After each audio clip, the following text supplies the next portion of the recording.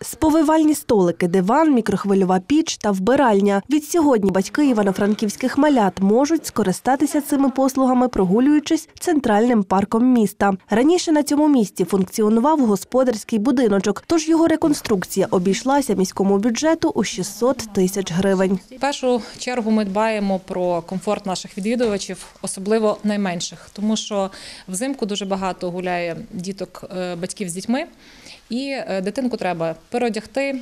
е, Відвести в баральню для самих менших в нас облаштовані е, столики для переодягання. Звичайно, що можна дитинку погодувати. В кого є двоє, можуть є куточок з іграшками, де може дитина провести свій час. Радіє, що тепер можна погодувати маленьку соломійку просто у парку. Франківчанка Оксана. Жінка каже, для молодих батьків така кімната життєво необхідна. Також створені всі умови і для штучного вигодовування, переодіти, перепеленати. Є два пеленальні столики, тобто ну надзвичайно зручно. Єдине, що хотілося б сказати, дуже хотілося б сказати, звернутися до мешканців міста, щоб ми це все зберегли в такому стані, якому воно є. За чистотою кімнати стежитимуть двоє людей та працюватиме камера відеонагляду ззовні та всередині будиночку. За призначенням кімната інклюзивна, підлаштована для комфортного перебування батьків з дітьми у візках. Олександра Берчак, Ігор Попик, ТРК Карпати.